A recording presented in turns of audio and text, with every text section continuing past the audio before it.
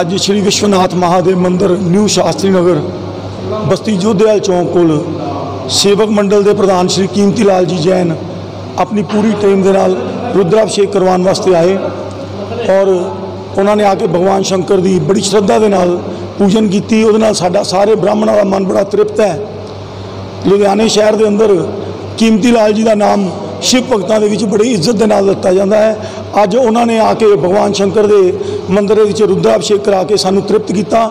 ਇਸੇ ਤਰ੍ਹਾਂ ਭਗਵਾਨ ਦੀ ਕਿਰਪਾ ਇਹਨਾਂ ਦੇ ਉੱਤੇ ਬਣੀ ਰਹੇ ਔਰ ਇਹਨਾਂ ਦੀ ਸਾਰੀ ਟੀਮ ਇਸੇ ਤਰ੍ਹਾਂ ਹੀ ਭਗਵਾਨ ਦੀ ਭਗਤੀ 'ਚ ਰਵੇ।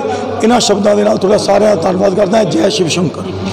ਅੱਜ सावन के सोमवार पे विश्व काशी